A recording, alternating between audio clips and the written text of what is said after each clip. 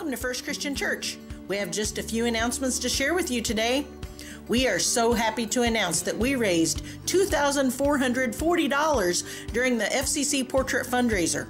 We appreciate all those who helped, as well as all those who came to have their portrait taken. Don't forget to go pick up your portrait on your scheduled viewing date, March 2nd or March 3rd.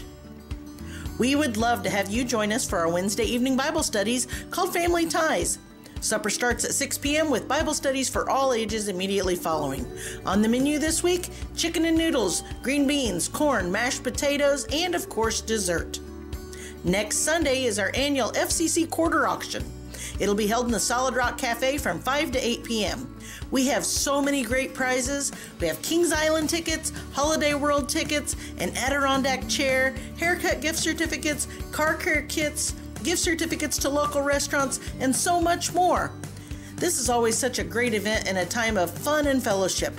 We'll be serving pork barbecue sandwiches as well as nachos to eat for a free will donation. We'll also be having a youth servant auction as part of the festivities. Please contact Shane Howard if you know of people willing to make donations to the quarter auction or if you have any questions. Be saving your quarters this week, and we'll see you Sunday. If anyone needs a ride to the FCC Women's Retreat this weekend, please see Christy Sweeney today to see if we can put together a carpool. We are so very excited about how God is going to move this weekend at our retreat. Clarity, formerly known as the Local Pregnancy Care Center, will be holding its annual fundraising dinner on Tuesday, March 7th in Seymour. Please contact Angie Leeds if you're interested in attending. There are more announcements in your bulletin. And don't forget that we keep our church website, Facebook page, and Twitter filled with the latest and greatest happenings here at First Christian Church. That's it for our announcements. Have a great week.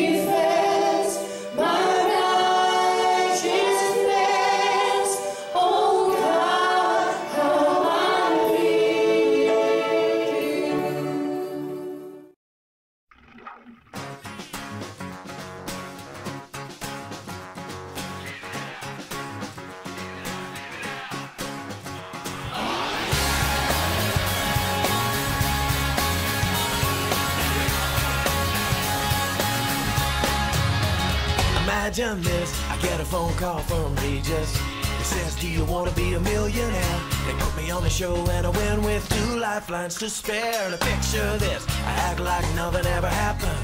And bury all the money in a coffee can. Well, I've been given more than Regis ever gave away. I was a dead man who was called to come out of my grave. And I think it's time for making some noise. Wake the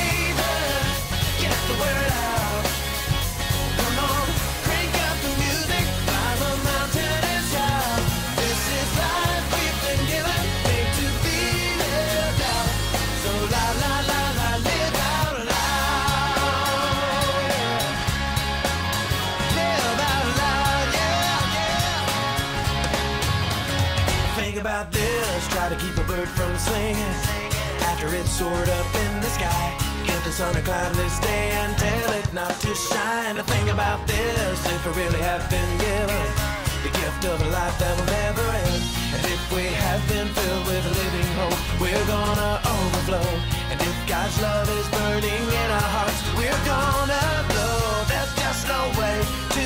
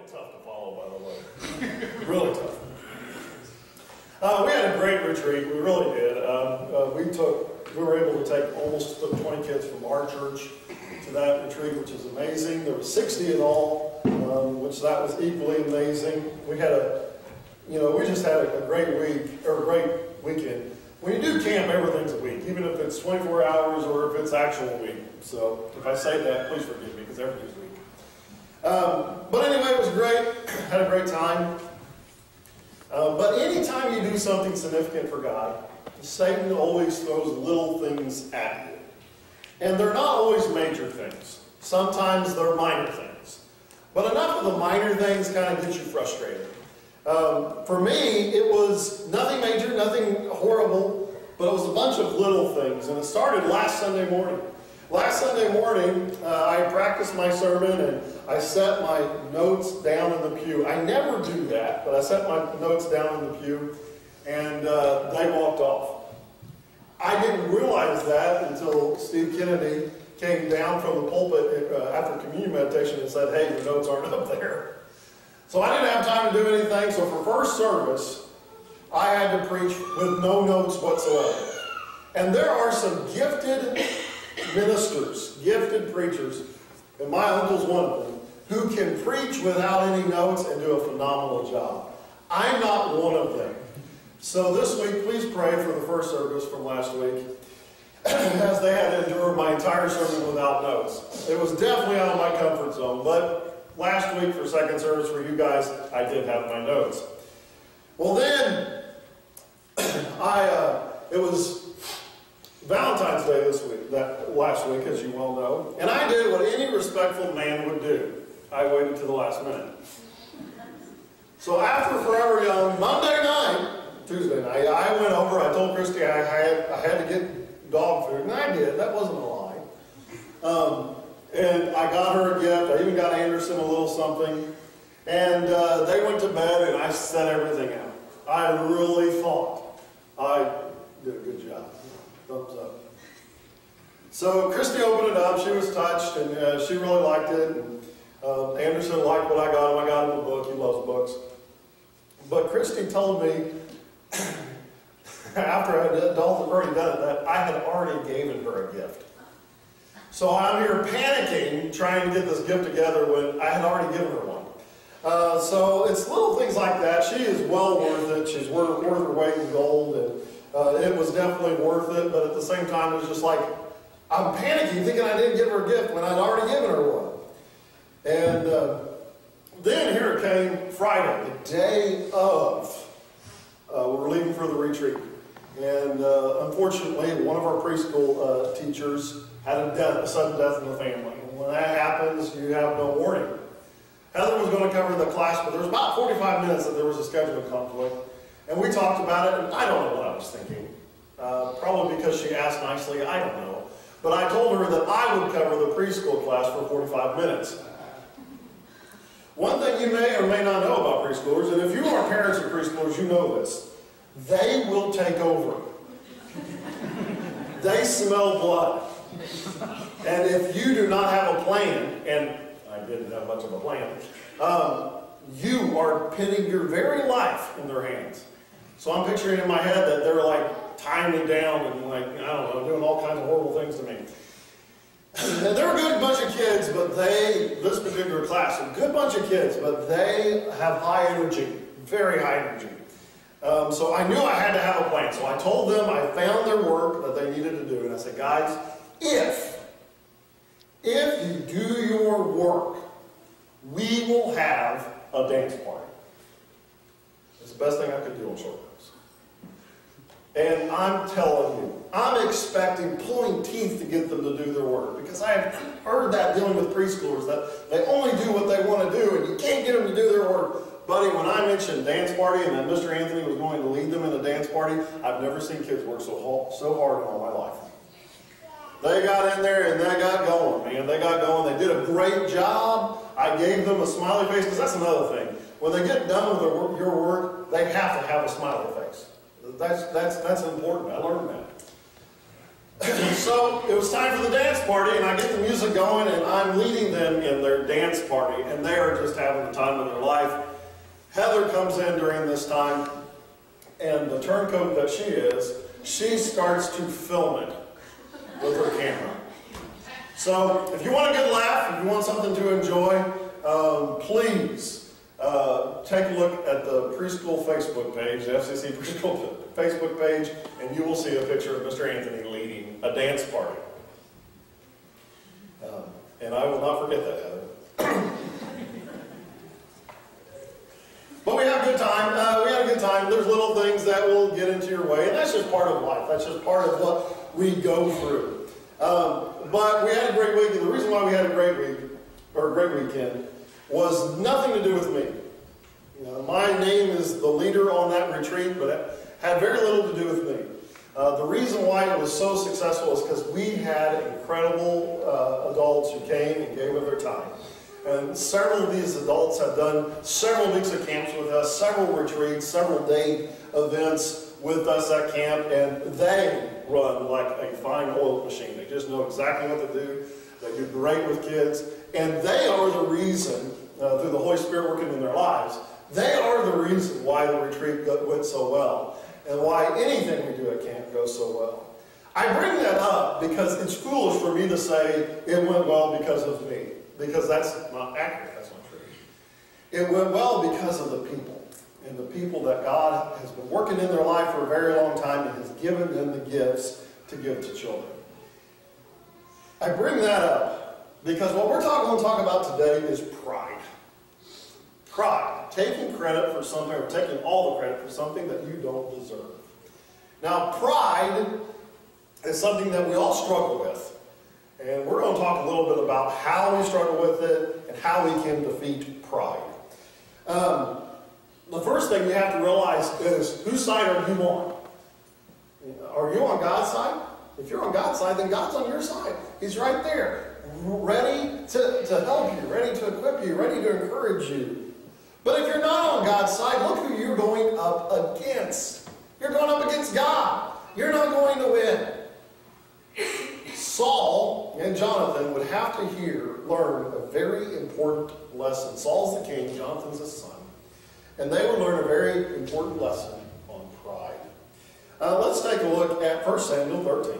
And it says this Jonathan attacked the Philistine garrison that was in Gibeah. And the Philistines heard about it, so Saul blew the ram's horn throughout the land, saying, Look, the Hebrews here. All Israel heard the news. Saul has attacked the Philistine garrison. Israel is now repulsive to the Philistines. Then the troops were summoned to join Saul at Gilgal.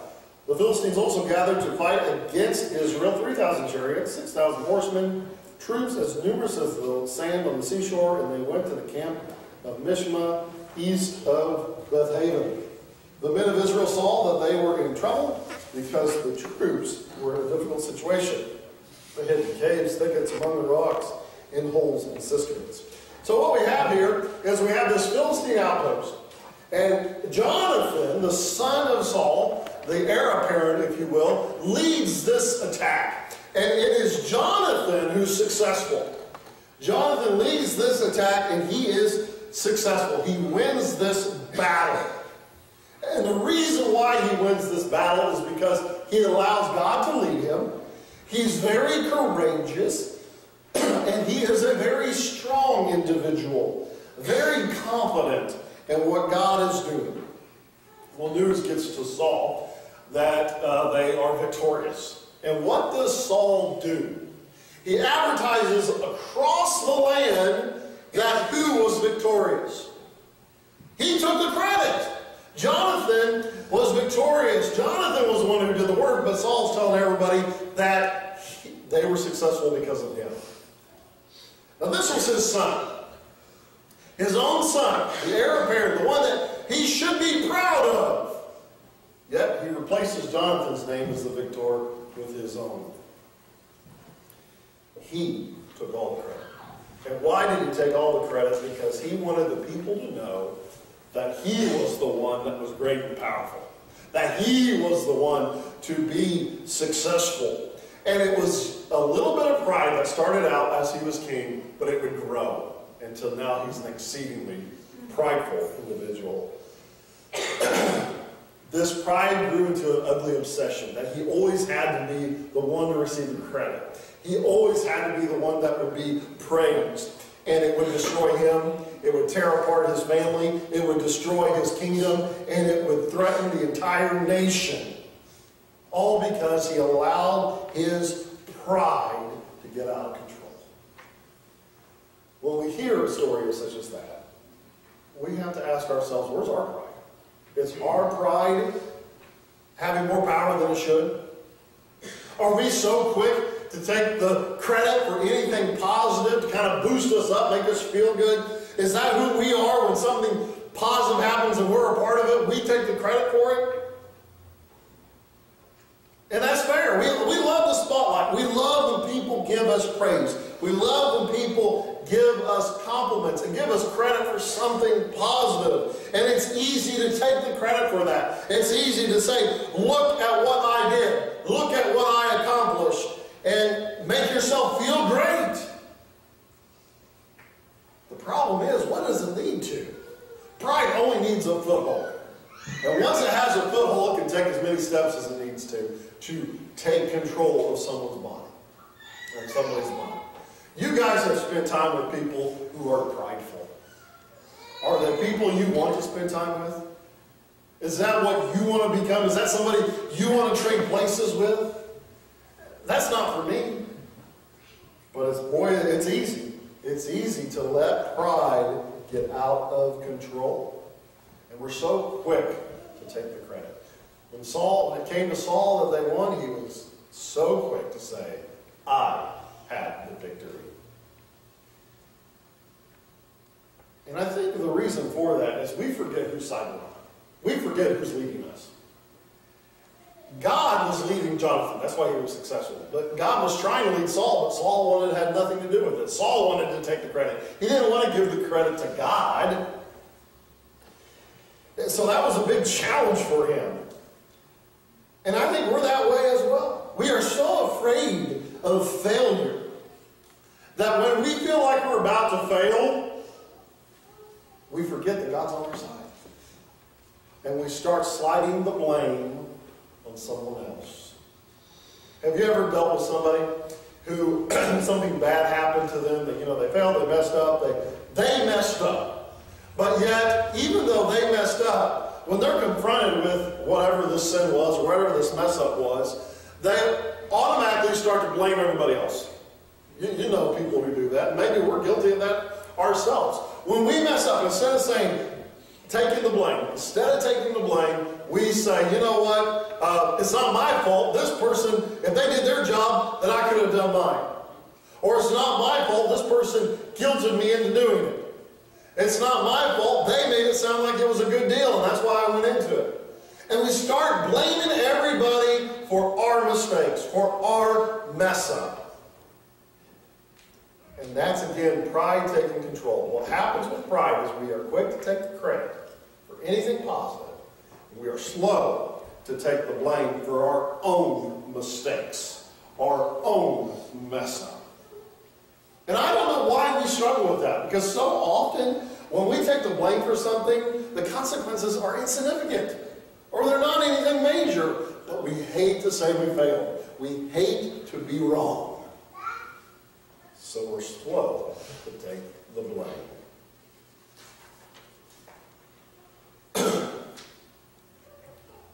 the sad reality is any relationship that we have, there's been a lot of relationships that we've had that's ended.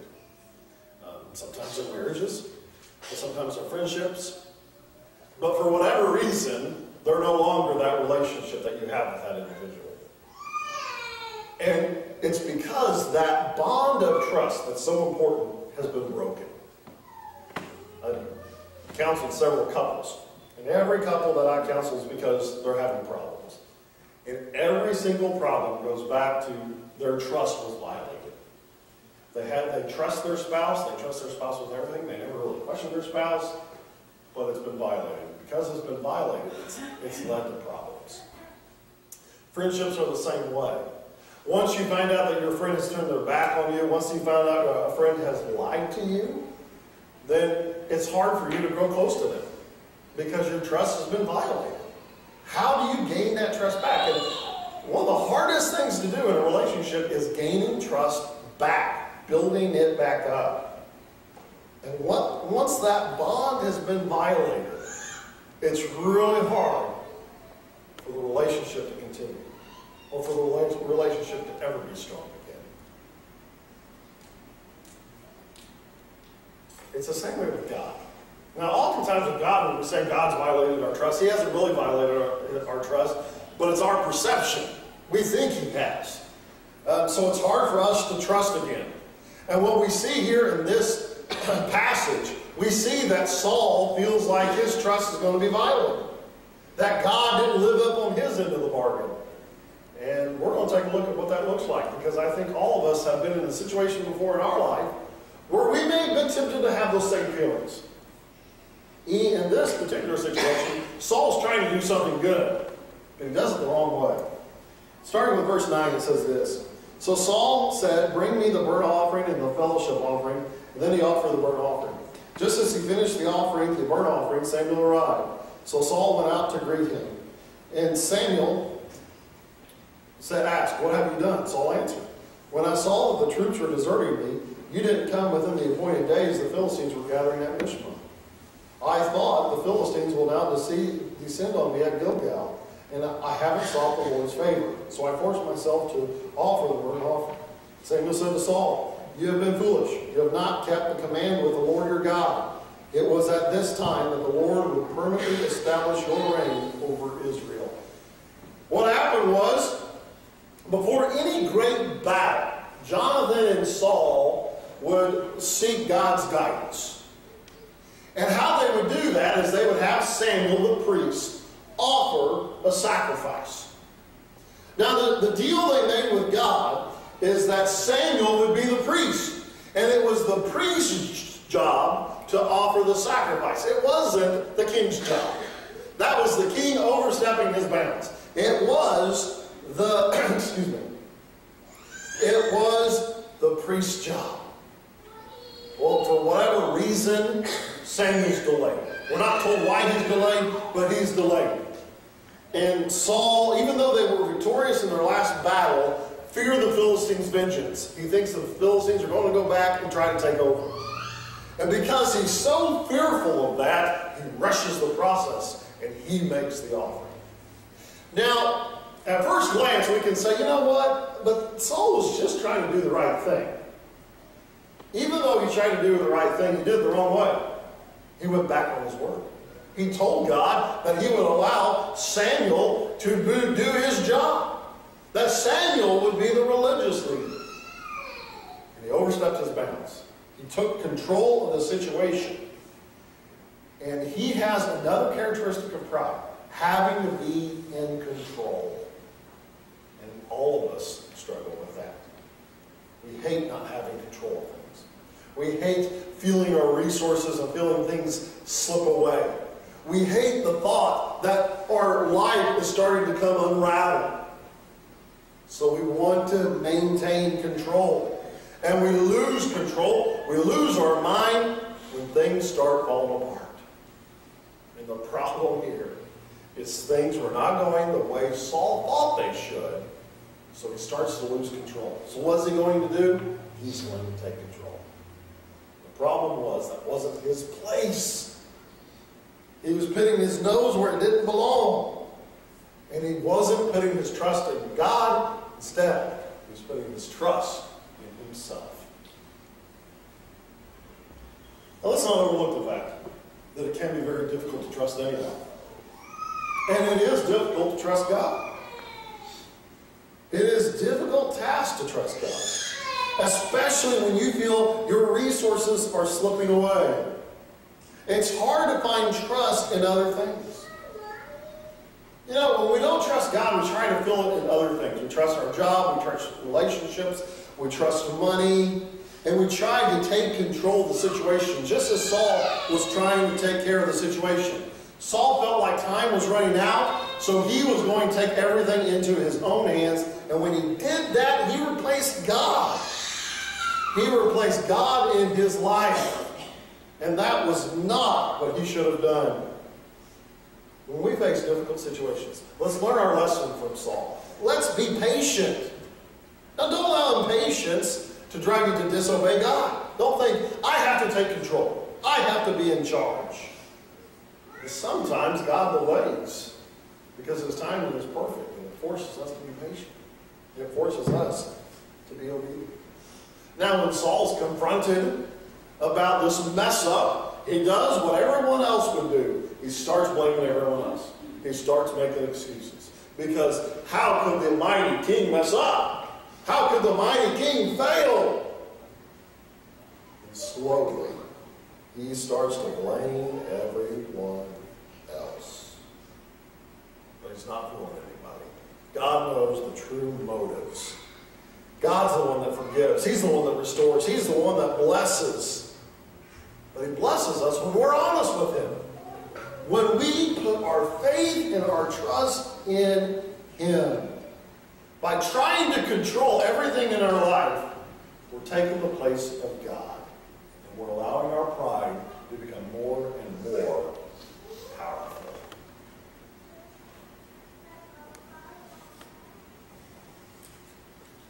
We lose our pride when we are placed in a hopeless situation.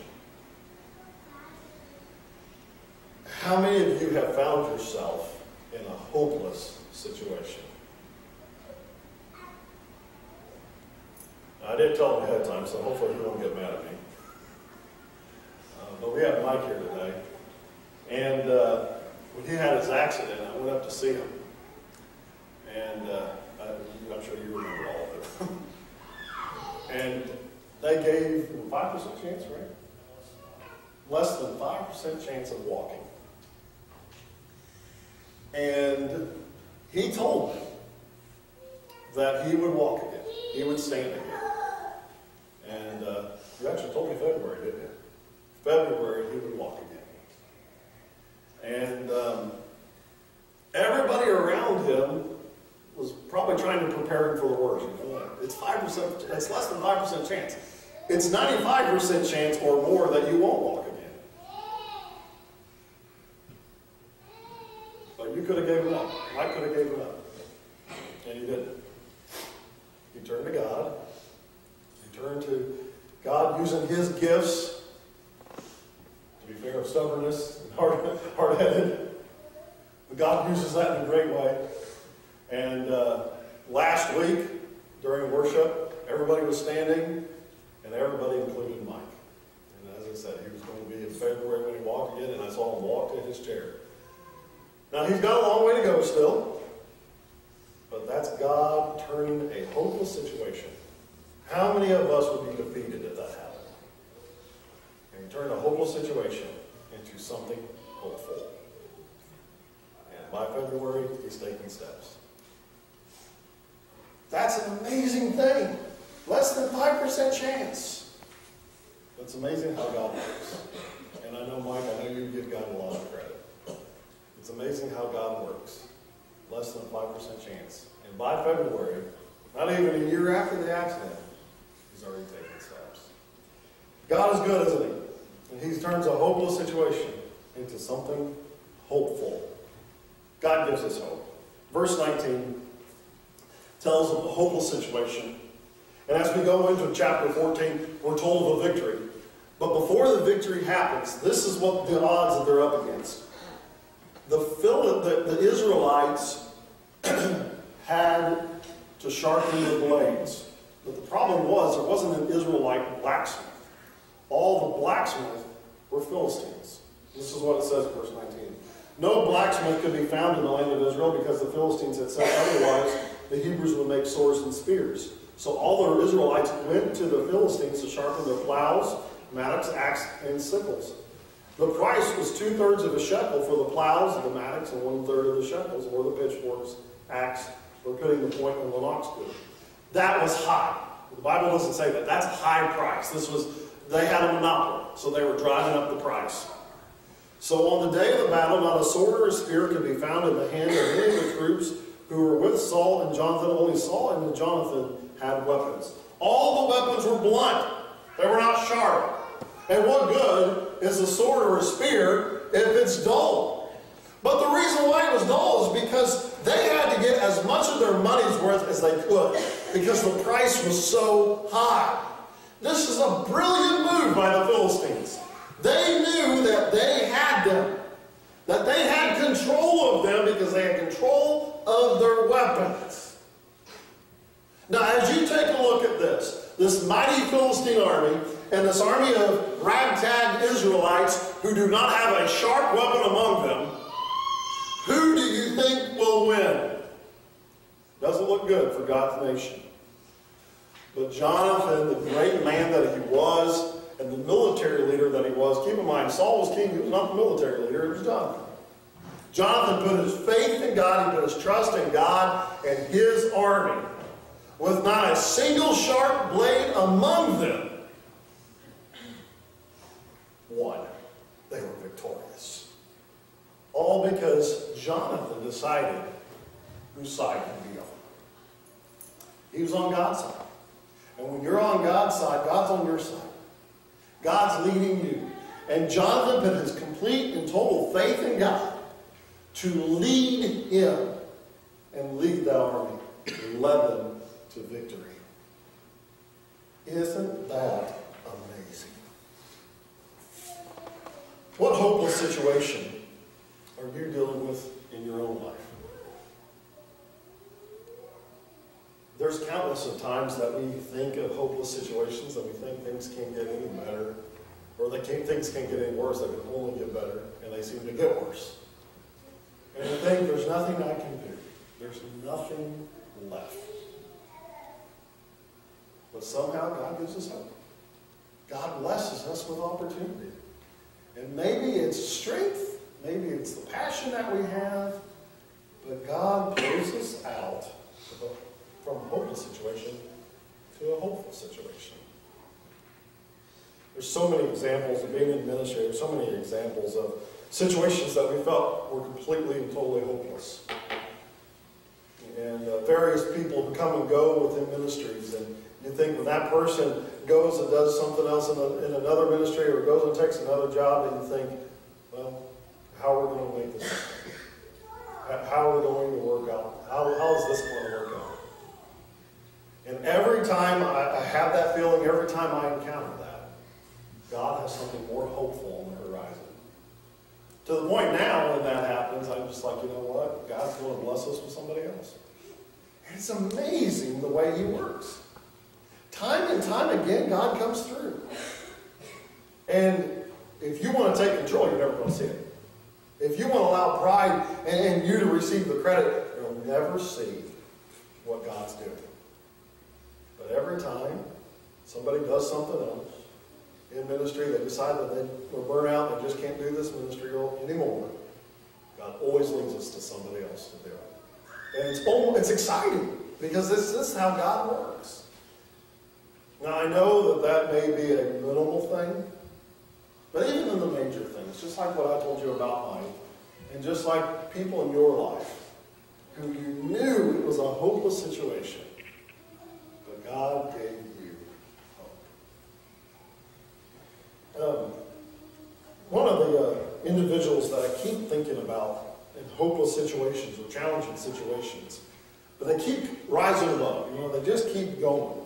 It's not like Job. It's not anything like that. But they, they just seem to put the pieces together and move on. Last Sunday, my grandfather turned 89. And it was a year and a half ago-ish, a little over a year ago, that he was going to have, he has Parkinson's, that he was going to have to have heart surgery. And when you're 88, or almost 88 at the time, uh, heart surgery is very, very risky, very, very critical. Matter of fact, there was even discussion of whether or not they would do the surgery. But if they didn't do the surgery, he wouldn't make it. He would have a few you know, months left and he wouldn't make it. So I don't know what the decision process was like. Grandpa decided to go with the surgery. And the family went to see him before the surgery, and I'll never forget going up to see him. And I already told you he turned 89, so you know this has a But I'll never forget when I went to see him, I was so worried and so concerned um, because Christy was pregnant. And I wanted nothing more than for him to meet, at this time we did know it was a son, to meet my son. And when we left, he said, well, next time I'll see you, I hope, uh, uh, next time I'll see you, I'll see, the- I'll see the grandson, I'll see Anderson. And in the back of our heads, we're just thinking, hope you're right, terrified of what would happen. Even to the point that we had talked about changing his name if you know, Grandpa had passed. But he made it through. And now he's, like I said, 89, living on his own, taking care of himself, walking. He wasn't walking at the time. And uh, he just has that determination. He knew, because I believe it was his faith, he knew that God would heal him and that he would save him. And every time I see him hold Anderson or playing with Anderson, I think back to that day where we thought this is an impossibility. What is your hopeless situation? Is it something going on in your family? Is it a recent breakup, a breakup of a relationship? Is it a job concern or uncertainty? Is it a need that you just don't know how you're going to make it? Make it? Is it personal struggles that you're dealing with that you just seem to not be able to kick? I'm telling you, it's never hopeless. It's hopeful. In our retreat this weekend, I was talking to the kids, and uh, we were talking about how Jesus led people to God and how he used miracles to do that. And I asked the kids, I said, uh, can anybody give me a definition of a miracle? And one of the kids, and I'm just so amazed by this, this is such a great definition. He said, a miracle is when everything is possible. And I thought, that's an incredible answer. This is a little third grader saying, a miracle is when everything is possible. I couldn't give a better definition. And it was just tremendous how God can take a hopeless situation and produce a miracle. How God can take a hopeless situation and help us to defeat it. If you're having family problems, you're having struggles or breakups or whatever, you have a church family here that will love on you, that will take care of you, and will cherish you. If you if you have a recent end to a relationship, there are future relationships. There are future things that will happen. Um, back to my grandfather. My grandfather, my grandma was um, 60 when she died. And um, they've been married 38 years. And I knew how devastated he was. And of course you would be devastated. If you've been with somebody that long, you'd be devastated if you. A couple years later, he remarries. And uh, I can't imagine. Um, I was young enough that I loved my grandpa, and I'm going to love anybody who'll be around him. But I can't imagine what my um, my dad and his siblings were going through to see him with somebody else. But I'm telling you, she took she took control. God put her in her put her in grandma's life for a reason, because she became everybody's grandma. She became everybody's mom. And uh, I, I forget how long they've been married, but years later, he's 89, she's 86. They're still together, taking care of one another, nurturing one another. They've had a rough couple years with medicals. But I'll never forget, we thought we were going to lose her because she had cancer real bad. And she looked up and said, I can't let Lord lose another uh, wife to cancer. And she made it through. And I believe he wouldn't be here today if it wasn't for her. And I know she wouldn't be if it wasn't for him. You see, when a relationship ends, even in a situation such as that, there are future relationships coming. When a job ends, there may be a better job on the horizon. Maybe that need that you have, somebody's there to help. And by the way, all the struggles that we have, we're going to lead us to heaven. One last story. I had the kids, um, I had a little teddy bear of Anderson's. Uh, Anderson has a teddy bear for my office so that he can go in there and play. And uh, I grabbed the teddy bear and I was going to use it for illustration at camp. Anderson was good with it. I checked him. And uh, I had a blanket. And uh, I had the kids name the teddy bear. And the reason why I had them name it is because I felt like that would make help them to have a personal connection to it. And they came up with a name, both, both classes. We had two different classes. They both came up with a name. And I said, do you want, Jordy was one of the names and Buddy was one of the, one of the names. Do you want Jordy or Buddy to go to heaven? Well, they had named this bear, so there's automatic, an automatic connection there. So they said, yeah, we want to go to heaven. So I got this blanket out, and all of them held onto a blanket, and I put the bear in the middle of the blanket. I said, one, two, three, throw them up in the air. So they went, I said, one, two, three, throw them up in the air, send them to heaven. One, two, three, they threw them up in the air, tried to send them to heaven. Well, you know what happens. It went up, went back down. I made sure to catch it, made sure it didn't fall on the ground. Anderson would be very upset with me. so we did that three or four times, and I finally said, okay, they're not going to heaven this way. And I use that illustration to teach them this, and just to remind us again today. There's only one way to heaven. And the one way to heaven is not on a blanket thrown up to the sky. It's through Jesus Christ. The person who's on our side, the person whose side we're on, is Jesus. And he's the one that loves you, cares for you, has forgiven you, so that you can go to heaven with him. And not only is he going to do that for you, but he's going to take, here on this earth, the most hopeless of situations and give you hope. Whatever situation you find yourself in today, you may think it's hopeless. The world may tell you it's hopeless. Doctors may tell you it's hopeless. Counselors may tell you it's hopeless. But don't forget whose side you're on. You're on a God. But as that little third grader said, makes everything possible. As musicians come forward, I want to leave you with one simple verse. It's in Proverbs 16:9. It says, We make our plans, but the Lord determines our steps. We make our plans. The Lord determines our steps. We live our life, but God leads us. And for Jonathan, when God would lead him, he would lead him to victory over battle. For Saul, when he would do his own thing, he had to face the consequences. Same is true for us. As we follow God, we're going to see the victory that life has before us.